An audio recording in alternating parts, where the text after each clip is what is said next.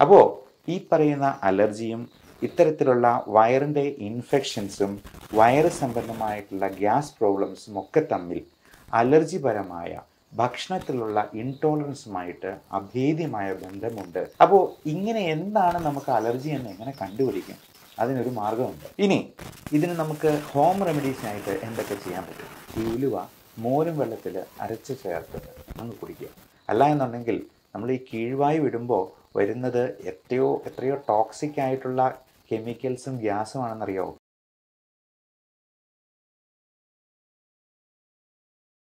വിട്ട് വിട്ട് വരുന്ന അബ്ഡോമിനൽ ഡിസ്റ്റൻഷൻ കീഴ്വായു പോക്ക് ഛർദ്ദിക്കാൻ വരിക ഓക്കാനം വയറ് വേദന വയറിൽ എന്തെല്ലാമോ അസ്വസ്ഥത.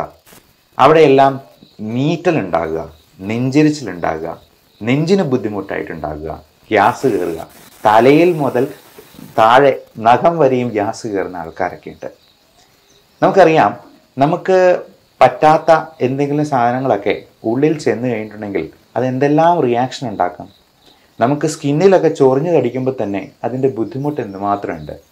ഇതുപോലെ വയറിനുള്ളിൽ നമ്മുടെ വയറിന്റെ എപ്പിത്തീരിയൽ ലൈനിങ്ങിൽ ഒക്കെ ഇങ്ങനെ ചൊറിഞ്ഞു തടിച്ചതുപോലുള്ള ലീഷൻസ് ഉണ്ടായാലോ?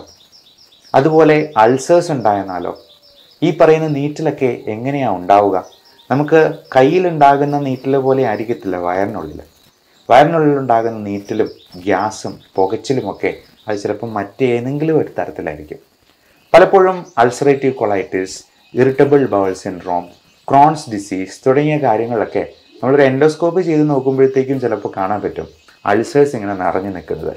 അതിന് ചുറ്റും ഈ ദേഹം ചൊറിഞ്ഞു വെച്ചിരിക്കുന്നത് പോലെ തന്നെയുള്ള ലീഷൻസ് കാണാം.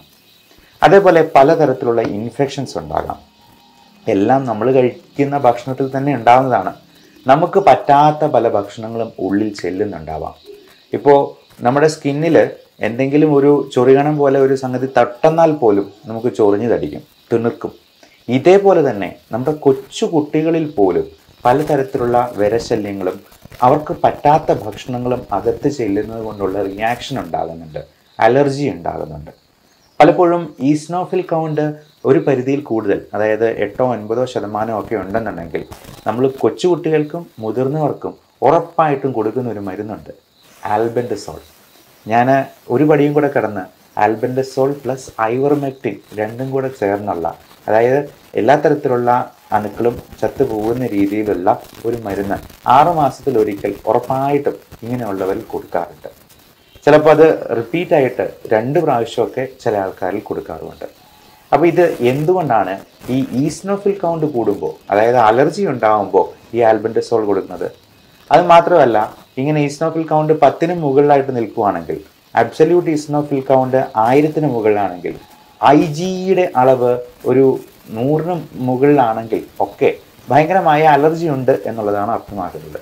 പക്ഷെ അന്നേരം നമ്മൾ കൊടുക്കുന്ന ഒരു മരുന്നാണ് ഈ പറയുന്ന albendazole D E C di carbamazine. അതായത് ഫൈലേറിയൽ വേംസ് ചില തരത്തിലുള്ള വിരകൾക്ക് കൊടുക്കുന്ന ഒരു മരുന്നാണ്. ഈ ഇത് രണ്ടും കൂടെ കമ്പൈൻ ചെയ്ത് അതും സിട്രസിന്റെ മരുന്നും കൂടെ അലർജിക്കുള്ള മരുന്നും കൂടെ കമ്പൈൻ ചെയ്ത് ബാനസിഡ് ഫോർട്ട് എന്നൊക്കെയുള്ള പേരിൽ നിങ്ങൾ കേട്ടിട്ടുണ്ടാവാം. മൂന്നാഴ്ചത്തേക്ക് ദിവസം മൂന്ന് നേരം വെച്ചിട്ട് കഴിച്ചോണം നിർത്തരുത് എന്ന് ഡോക്ടർ കട്ടായം പറയുന്നത് നിങ്ങൾ തന്നെ ചിലപ്പോൾ ശ്രദ്ധിച്ചിട്ടുണ്ടാവാം. അതോടൊപ്പം തന്നെ ചിലപ്പോൾ സ്റ്റിറോയിഡ് മരുന്നും കൊടുത്തേക്കാം.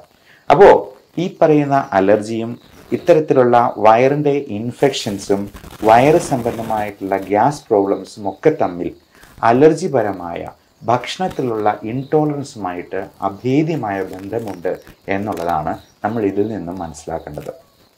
നമുക്ക് പറ്റാത്ത ഭക്ഷണം അത് നമ്മൾ ഡെയിലി കഴിക്കുന്ന അരി ഗോതമ്പ് പാൽ മുട്ട ഇറച്ചി ഉൽപ്പന്നങ്ങൾ പറയാനില്ല. മീറ്റ് ഐറ്റംസും സീ ഫുഡ് ഐറ്റംസും ഒക്കെ ഒരുപാട് തരത്തിലുള്ള അലർജിക് റിയാക്ഷൻ ഉണ്ടാക്കും. സായിപ്പന്മാർ പണ്ട് ഗോതമ്പിന്റെ അലർജിയെ ഗ്ലൂട്ടൻ ഇൻടോളറൻസും മിൽക്കിന്റെ അലർജിയെ ലാക്ടോസ് ഇൻടോളറൻസ് എന്നൊക്കെ പറയാം. നമ്മൾ ഒരു ഫൈവ് സ്റ്റാർ ഹോട്ടലിൽ ചെയ്യുമ്പോഴോ ഫ്ലൈറ്റിൽ ബിസിനസ് ക്ലാസ്സിൽ യാത്ര ചെയ്യുമ്പോഴോ ഒക്കെ സാധാരണ എക്കണോമിക് ക്ലാസ്സിൽ നിന്നൊന്നും ചോദിച്ചു എന്ന് വരത്തില്ല. നമുക്ക് അലർജിയുള്ള എന്തെങ്കിലും ഉണ്ടോ എന്നുള്ളത് ഡോക്യുമെന്റ് ചെയ്യാനായിട്ട് അവർ ആവശ്യപ്പെടും. അപ്പോൾ അതിനനുസരിച്ചിട്ടുള്ള ഭക്ഷണമേ അവർ വിളമ്പാൻ പാടുള്ളൂ. അത് ഷെഫായിട്ട് പഠിച്ചിട്ടുള്ളവർക്കൊക്കെ നന്നായിട്ട് അറിവുള്ളതാണ്. അപ്പോൾ ഇങ്ങനെ എന്താണ് നമുക്ക് അലർജി എന്ന് എങ്ങനെ കണ്ടുപിടിക്കും? അതിനൊരു മാർഗമുണ്ട്. അലർജിയുടെ സ്കിൻ പ്രിക് ടെസ്റ്റ് ഉണ്ട്. നമ്മൾ സ്കിന്നിൽ തന്നെ ഓരോ ഫുഡ് അലർജൻസിന്റെയും റിയാക്ഷൻ നോക്കി മനസ്സിലാക്കുന്നത്. അപ്പോൾ നമ്മൾ ഒരു അലർജിയുള്ള സാധനം തൊട്ടെന്നാ ഉള്ള റിയാക്ഷൻ പോലെ നമ്മൾ ഇതൊന്ന് ചെറുതായിട്ടൊന്ന് പോറിച്ച് കൊടുക്കുമ്പോൾ അതിൽ വരുന്ന റിയാക്ഷൻ അത് കോളം വരച്ച് വളരെ സിസ്റ്റമാറ്റിക് ആയിട്ടാണ് ചെയ്യുന്നത് ഏകദേശം ഒരു മണിക്കൂറോളം സമയം എടുക്കും അപ്പോൾ തന്നെ നമുക്ക് റിപ്പോർട്ടും കിട്ടും. ജീവിതത്തിൽ ഒരിക്കലെങ്കിലും ഇത്തരത്തിലുള്ള പ്രശ്നങ്ങളുള്ളവർ നിർബന്ധമായും ഈ ടെസ്റ്റ് ഒന്ന് ചെയ്ത് നോക്കുന്നത് നല്ലതായിരിക്കും. അങ്ങനെ കണ്ടുപിടിച്ചെന്നാൽ നമുക്കതിൽ ഒഴിവാക്കാൻ പറ്റാത്ത സംഗതികൾക്ക് ഇമ്മ്യൂണോ തെറാപ്പി എന്ന് പറയുന്ന ഒരു ട്രീറ്റ്മെന്റ് വഴി ഇതിന് നമുക്ക് പൂർണമായിട്ടുള്ള വിമോചനം സാധ്യമാണ്. പഠനങ്ങൾ പറയുന്നത് തൊണ്ണൂറ്റി രണ്ട് ശതമാനം എഫിക്കസിയാണ് ഇതിന് അത് കൊച്ചു കുട്ടികൾ മുതൽ പ്രായമായവർക്ക് അത് ഒത്തിരി പ്രായമാകുന്നതിന് മുമ്പ് ചെയ്യുന്നാൽ ഏറ്റവും നല്ലത്. കാരണം ഇതുപോലെ ഒരുപാട് അലർജിക് റിയാക്ഷൻ ഉണ്ടായി. അതിന്റെ ഡീസെൻസിറ്റൈസ് ചെയ്യുന്നത് വളരെ ദുഷ്കരമാകുന്ന ഒരു പ്രായത്തിൽ അത് ചെയ്യുന്നതുകൊണ്ട് ഈ പറയുന്ന റിസൾട്ട് നമുക്ക് കിട്ടിക്കൊള്ളണമെന്നില്ല. അതുകൊണ്ട് ഇങ്ങനെയുള്ള കാര്യങ്ങളെക്കുറിച്ച് നമ്മൾ മനസ്സിലാക്കുക. അടുത്ത കാര്യം നമ്മൾ ഈ പറയുന്ന ദുഷ്കർ അല്ലെങ്കിൽ ഈ ജീർണിച്ചതും വേസ്റ്റ് ആയിട്ടുള്ളതുമൊക്കെ പുറന്തള്ളാനായിട്ട് നമ്മൾ ഭക്ഷണത്തിൽ ശ്രദ്ധിക്കേണ്ട നമ്മുടെ ലൈഫ് സ്റ്റൈലിൽ മോഡിഫൈ ചെയ്യേണ്ടത് എന്തൊക്കെയാണ് എന്നുള്ളത് മനസ്സിലാക്കിയിരിക്കാം. നമുക്ക് എല്ലാവർക്കും അറിയാം ഈ ആദ്യം പറഞ്ഞ പോലെ ചൂലിടിച്ച അടിച്ച് വൃത്തിയാക്കുന്നത് പോലെ ഫൈബർ കണ്ടന്റുള്ള ഭക്ഷണം വേണമെന്നുള്ളത്. പക്ഷെ നമ്മൾ എത്ര പേര് ഈ ഫൈബർ കണ്ടന്റ് ഉള്ളത് കഴിക്കുന്നുണ്ട്? നമ്മൾ കഴിക്കുന്ന മധുര പലഹാരങ്ങളും ബേക്കറി സാധനങ്ങളും മൈദ അടങ്ങിയിട്ടുള്ളതും ഈവൻ നമ്മൾ വാങ്ങിക്കുന്ന ഗോതമ്പിന്റെ ആട്ടയും അരി ഒക്കെ വളരെ റിഫൈൻഡ് ആയി പോകുന്നു എന്നുള്ളത് നമ്മൾ മനസ്സിലാക്കിയിരിക്കുക. അത് തവിടിന്റെ അംശം തീരെ കുറവാണ്. ഇങ്ങനെ ഏറ്റവും റിഫൈൻഡ് ആയിട്ട് വരുന്ന അരിക്ക് സൗന്ദര്യം കൂടുന്തോറും അതിന്റെ ക്വാളിറ്റി കുറഞ്ഞു പോവുകയാണ് ചെയ്യുന്നത്. നമുക്ക് ഈ ഗ്ലൈസിമിക് ഇൻഡെക്സ് ഒത്തിരി കൂട്ടും അപ്പം നല്ല വെള്ളരി ചോറ് മാത്രമേ ചില കുട്ടികളൊക്കെ ആണെങ്കിലും കഴിക്കത്തുള്ളൂ. അത് ഇച്ചിരി പൊട്ടും തടിപ്പും ഒക്കെ ആണെന്നുണ്ടെങ്കിൽ വേണ്ടാന്ന് പറയും ഇപ്പം നമ്മൾ കേരളത്തിൽ നിന്ന് പുറത്തോട്ട് പോയിക്കിട്ടുണ്ടെങ്കിൽ എല്ലായിടത്തും വൈറ്റ് റൈസേ ഉള്ളൂ. അവർ ബ്രൗൺ റൈസ് കൊടുക്കുന്ന കഴിക്കുക പോലും ഇല്ല. എന്നാൽ ഏറ്റവും നല്ലത് നല്ല ബ്രൗൺ കളറിലുള്ള പറ്റുമെങ്കിൽ ചുവന്ന നിറത്തിലിരിക്കുന്ന ചെമ്പാവരിയുടെയൊക്കെ ചോറ് കൊണ്ടുള്ള ഭക്ഷണങ്ങളാണ് എന്നുള്ളത് പ്രത്യേകം മനസ്സിലാക്കുക. നല്ല ചുവന്ന അരി കിട്ടും. അതാണ് ഏറ്റവും തവിടുള്ളത്. അല്ലെങ്കിൽ നല്ല തവിടിന്റെ കണ്ടന്റുള്ള മില്ലറ്റ്സ് പോലുള്ള മില്ലറ്റ്സ് തന്നെ പല വെറൈറ്റി അവൈലബിൾ ആണ്. ബേബി മില്ലറ്റ്സ് പോലുള്ള സാധനങ്ങളും ചോളം പോലുള്ള സാധനങ്ങളും ഒക്കെ. അപ്പം അതിൽ എത്രത്തോളം തവിടുണ്ടോ അത്രത്തോളം നല്ലത്. പണ്ടൊക്കെ വീടുകളിൽ മുതിർന്ന കുട്ടികളെ ഇളയ കുട്ടികളോട് തമാശ പറയാണ് എടാ നിന്നെ തവിട് കൊടുത്ത് വാങ്ങിച്ച കേട്ടോ. നിന്നെ കൊണ്ടൊരു ഉപയോഗമില്ലാണ് പക്ഷേ ഇനി ഈ ഇളയ കുട്ടികൾക്ക് അവരോട് തിരിച്ചു പറയാം.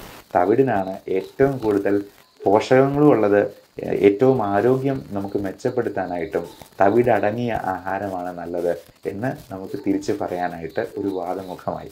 ഇനി ഇതിന് നമുക്ക് ഹോം റെമഡീസിനായിട്ട് എന്തൊക്കെ ചെയ്യാൻ പറ്റും? ഏറ്റവും നല്ല ഒരു ഹോം റെമഡി പറയാം. ഉലുവ എന്ന് പറയുന്ന സാധനമാണല്ലോ ഈ ഉലുവ മോരും വെള്ളത്തിൽ അരച്ച് ചേർത്ത് നമുക്ക് കുടിക്കുക. അതുകൊണ്ട് രണ്ടുണ്ട് ഗുണം. ഉലുവ അടങ്ങിയിട്ടുള്ളത് കൊണ്ട് അതിന് നല്ല ഫൈബർ കണ്ടന്റ് ഉണ്ട്. കൂടാതെ അത് ദഹനത്തിന് വളരെയധികം സഹായിക്കുന്നതാണ് രണ്ട് ഈ മോരും വെള്ളത്തിന് നല്ല ലാക്റ്റിക് ആസിഡ് ബാസിലസ് ഉണ്ട്. ഈ പ്രീ ആൻഡ് പ്രോബയോട്ടിക്സ് എന്ന് പറയുന്ന കാറ്റഗറിയിലുള്ള കുറച്ച് ഗട്ട് ബാക്ടീരിയ ഉണ്ട് അതായത് നമ്മുടെ ഇൻഡസ്ട്രിയിലെ നമ്മുടെ സുഹൃത്തുക്കളായിട്ടുള്ള ചില അണുക്കളുണ്ട്.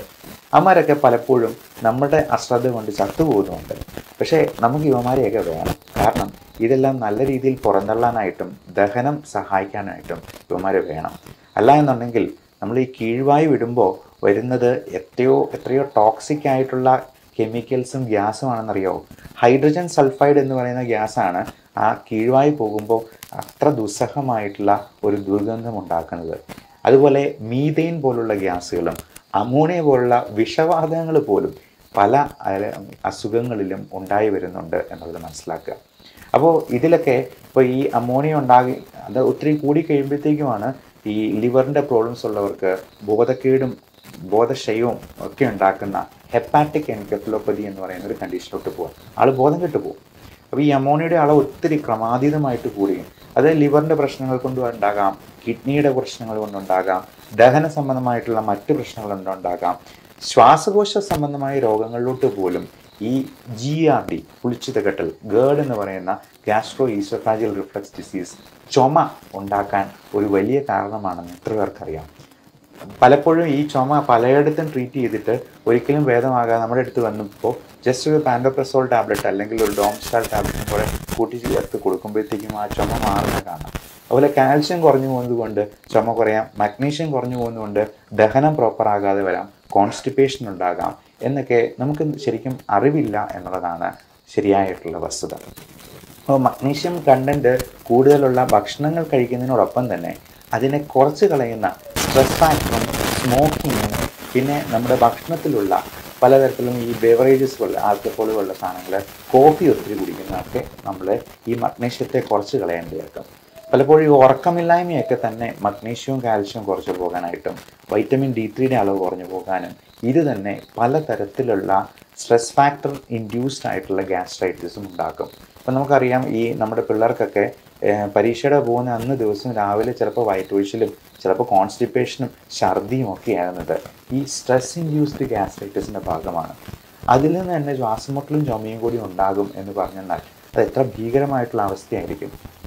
അതേപോലെ ഈ കീഴ്വായി പോകുന്നത് അത് ശബ്ദത്തോടു കൂടിയോ ശബ്ദമില്ലാതെയോ ഒക്കെ പോയേക്കാം. അതിൽ ഈ ഹൈഡ്രജൻ സൾഫൈഡ് എന്ന് പറയുന്ന ഗ്യാസ് അത് ചീഞ്ഞ മുട്ടയുടെ ഉള്ളിൽ നിന്ന് വരുന്ന ഗ്യാസാണ് അതുപോലുള്ള സാധനങ്ങൾ നമ്മുടെ വയറിനുള്ളിൽ കെട്ടിക്കിടക്കുന്നുണ്ട് എന്നുള്ളത് നമ്മൾ അപ്പോഴേ മനസ്സിലാക്കിക്കൊള്ളണം. ഇതിന് പലതരത്തിലുള്ള മരുന്നുകൾ നമ്മൾ മോഡേൺ മെഡിസിൻ തന്നെ കൊടുക്കാറുണ്ട്. അത് പലപ്പോഴും മരുന്നുകളല്ല. ഇപ്പോൾ നമുക്ക് ഹോം റെമഡീസ് ആയിട്ട് കൊടുക്കാവുന്ന പലതരത്തിലുള്ള കാസ്ട്രോയിൽ ആവണക്കെണ്ണ പോലുള്ള സാധനങ്ങളുണ്ട്. നല്ല ഫാറ്റ് പ്രദാനം ചെയ്യുന്ന ഗുഡ് കൊളസ്ട്രോൾ ബാഡ് കൊളസ്ട്രോൾ രണ്ടും രണ്ടാണെന്ന് അറിയാം നല്ല രീതിയിലുള്ള ഫാറ്റ് പ്രദാനം ചെയ്യുന്ന പലതരത്തിലുള്ള എണ്ണകളുണ്ട്. ഇപ്പം വെളിച്ചെണ്ണയാണെങ്കിലും നല്ല വെളിച്ചെണ്ണ ഉപയോഗിക്കുന്നത് നമുക്ക് തന്നെ ചക്കിലാട്ടി എടുക്കുന്ന വെളിച്ചെണ്ണയാണെങ്കിൽ ഏറെ നല്ലത്. അതേപോലെ നമുക്ക് ഈ ഒലിവ് ഓയിൽ പോലുള്ള സാധനങ്ങൾ നമുക്ക് എണ്ണ ഉപയോഗിക്കുമ്പോൾ ഏറ്റവും ശുദ്ധമായതും ആയിട്ടുള്ള എണ്ണ നമ്മൾ മാറി മാറി ഉപയോഗിക്കാനായിട്ട് ശ്രദ്ധിക്കുക. അപ്പോൾ ഇതെല്ലാം നമ്മുടെ ഈ വയറിന്റെ പ്രശ്നങ്ങൾ മാറാനായിട്ടും ഒത്തിരി സഹായിക്കുന്നതാണ്. അതേപോലെ നല്ല ഫ്രൂട്ട്സ് അധികം മധുരമില്ലാത്ത കഴിക്കാനായിട്ട് നോക്കുക. അപ്പം മധുരത്തിൽ അടങ്ങിയിരിക്കുന്ന ഫ്രക്ടോസ് എന്ന് പറയുന്ന കണ്ടന്റ് തന്നെ ലിവറിനെ ചിലപ്പോൾ കൂടുതൽ അപകടകരമായിരിക്കാം അതായത് മധുരമുള്ള പഴങ്ങളിൽ പഴങ്ങളായിട്ടുള്ള മാങ്ങപ്പഴത്തിലും ചക്കപ്പഴത്തിലും അതുപോലെ ചെറുപഴത്തിലാണെങ്കിലും ഒരുപാട് ഫ്രക്ടോസ് അടങ്ങിയിട്ടുള്ളതാണെങ്കിൽ അത് ചിലപ്പോൾ ലിവറിന്റെ സിറോസിസിലേക്ക് തന്നെ കാരണമാക്കാം എന്നുള്ളത് പ്രത്യേകം മനസ്സിലാക്കുക. ഡയബറ്റിക് ആയിട്ടുള്ള രോഗികൾക്ക് ഇത് കഴിക്കുന്ന ഷുഗർ കൂടുകയും ചെയ്യും. എന്നാൽ നമ്മൾ ഈ കോൺസ്റ്റിപ്പേഷൻ റിലീവ് ചെയ്യാൻ കൊടുക്കുന്ന ലാക്ടലോസ് എന്ന് പറയുന്ന ഒരു മരുന്നുണ്ട്. അപ്പോൾ ഈ ലാക്ടലോസ് ഒരു സിറപ്പായിട്ടാണ് കൊടുക്കുക. ഈ സിറപ്പിന് മധുരമുണ്ടെങ്കിലും അത് ഗ്ലൈസിമിക് ഇൻഡെക്സ് കൂട്ടുന്നതല്ല. അതായത് ഷുഗർ ലെവൽ കൂട്ടാത്ത രീതിയിലുള്ള മരുന്നാണ്. ഇനി അതിൽ നിന്നില്ലെങ്കിൽ പലപ്പോഴും പല എനിമ കൊടുക്കാറുണ്ട്. അത് ഇത്രയേ ഉള്ളൂ. എനിമ ചെയ്യുന്നത് ഇത്രയേ ഉള്ളൂ. നമ്മൾ നമ്മുടെ കുടലിന്റെ ബാക്കി ഭാഗത്തു നിന്നും വെള്ളം സ്വല്പം കൂടി വലിച്ചെടുത്ത് ആ മലത്തിന് സ്വല്പം കൂടി ഹൈഡ്രേഷൻ കൊടുക്കും. അതായത് ഫ്ലൂയിഡുള്ള ഉണങ്ങി വരണ്ടിരിക്കുന്ന മലത്തിന് പകരം കുറച്ചുകൂടി വെള്ളം ചേർത്തിട്ട് അത് പുറത്തേക്ക് പോകാനായിട്ട് കൂടുതൽ സഹായിക്കും. ഇത് വലിയ കെമിക്കലൊന്നുമല്ല നമ്മൾ ഉള്ളിലോട്ട് ഇനിമ വയ്ക്കുമ്പോഴത്തേക്കും കേട്ടുന്നത്. ഇനി അതല്ലെങ്കിൽ സപ്പോസിറ്ററി ആയിട്ടുള്ള മരുന്നുകളുണ്ട്. ഇതിന്റെയൊക്കെ ആക്ഷൻ ഇങ്ങനെയാണ്. നമ്മുടെ ബവൽ മൂവ്മെന്റ്സ് കുറച്ചുകൂടി നന്നാക്കുക. അപ്പോൾ ഫൈബർ കണ്ടന്റ് കൂട്ടുക. പലപ്പോഴും ഫൈബർ കണ്ടന്റ് ആയിട്ടുള്ള സാധനങ്ങൾ നമ്മൾ പൊടിയായിട്ടോ ഒക്കെ കഴിക്കാനായിട്ട് പറയാം. അപ്പോൾ ഇതൊക്കെ ഗുളിക രൂപത്തിൽ ഇരുന്നെന്ന് വെച്ചിട്ട് ഇതൊന്നും വലിയ കെമിക്കലാണ് എന്ന് തെറ്റിദ്ധരിക്കരുത്. പലപ്പോഴും പല ആൾക്കാരും അയ്യോ ഇംഗ്ലീഷ് മരുന്നുകൾ മൊത്തം അപകടമാണ് മൊത്തം ഉണ്ടാക്കും സൈഡ് ഇഫക്റ്റ് ഉണ്ടാക്കും എന്നെല്ലാം പറയുന്ന ആൾക്കാരുണ്ട്.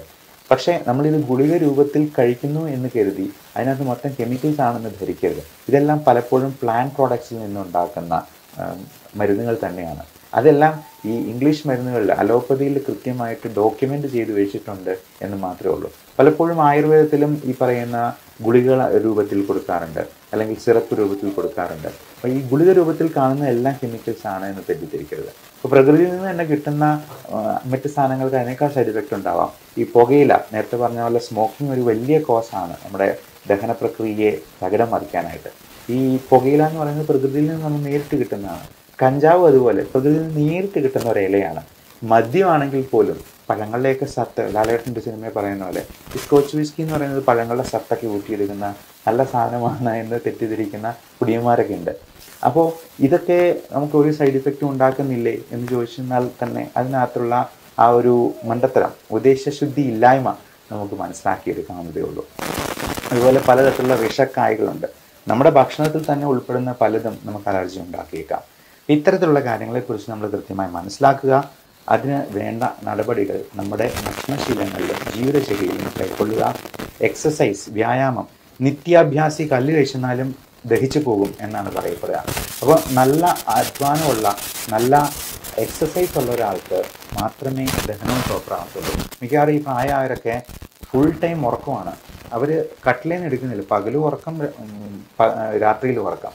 അപ്പോൾ ഇങ്ങനെ ഇരുപത്തിനാല് മണിക്കൂർ ഉറങ്ങി കഴിഞ്ഞിട്ടുണ്ടെങ്കിൽ അവർക്ക് വയറ് സംബന്ധമായിട്ടുള്ള പ്രശ്നങ്ങളും മറ്റസുഖങ്ങളും ഈ ക്ഷീണം കൂടത്തേ ഉള്ളൂ. ഉറക്കം കൂടിയിരുന്നാലും പ്രശ്നമാണ്. അതുപോലെ തന്നെയാണ് ഉറക്കം കുറഞ്ഞു പോയെന്നാലും. ഇപ്പോൾ ഉറക്കത്തിന് മരുന്ന് എന്തെങ്കിലും കഴിക്കാൻ ഡോക്ടർ പറയുമ്പോൾ അയ്യോ ഇത് ഭയങ്കര സൈഡ് ഇഫക്റ്റ് ഉള്ളതാണ് എന്ന് പറഞ്ഞ് അവർ ഉറങ്ങാതിരിക്കും. അവസാനം അവരുടെ സ്ട്രെസ് ഫാക്ടർ തന്നെ ബാക്കിയുള്ള എല്ലാ അസുഖങ്ങളിലോട്ടും വഴിതെളിക്കും അത് തന്നെ അവരുടെ അന്ത്യത്തിന് വരെ കാരണമാകുന്ന ഒരു അവസ്ഥ പലപ്പോഴും കാണാറുണ്ട്. അപ്പോൾ ഇങ്ങനെയുള്ള കാര്യങ്ങളെക്കുറിച്ച് നിങ്ങളുടെ പ്രിയപ്പെട്ടവരോട് ഷെയർ ചെയ്ത് കൊടുക്കുക. Love and regards, Dr. Vijay Jose, Palma Medical Center, Pala, Kandirapalli, and